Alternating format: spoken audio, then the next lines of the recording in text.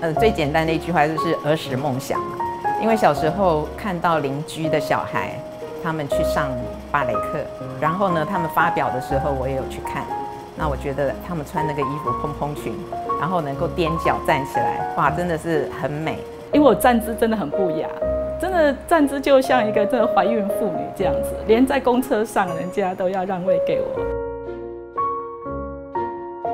第一次穿紧身衣的时候，我都不敢看镜子，我觉得我为什么要穿紧身衣呀？我就然后我就问老师说，可不可以不要穿？老师说要穿。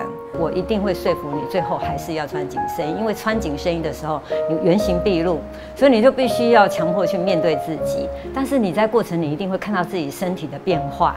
我是很理性的人，我就觉得说我既然要学了，我就必须穿。真的是人家会不会笑我？其实那都是多多想的啦，因为就是你自己不能接受自己。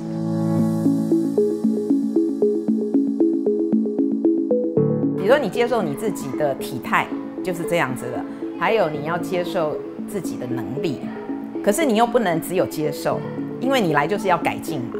当你呃能够觉得你的学习甚至是一个享受的时候，那真的是很快乐，而且你已经六十几岁了，你还能够享受学习，我觉得这个是最快乐的事情。在跳芭蕾的过程当中，我渐渐的就去找到自己的核心。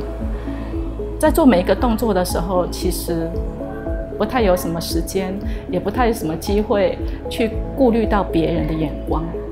那我们在小时候都会从别人的眼光去得到自我的肯定，但是现在我却在这个舞蹈当中看到一个，哎，自己可以站好，我可以这样，我我我很为自己感到很开心。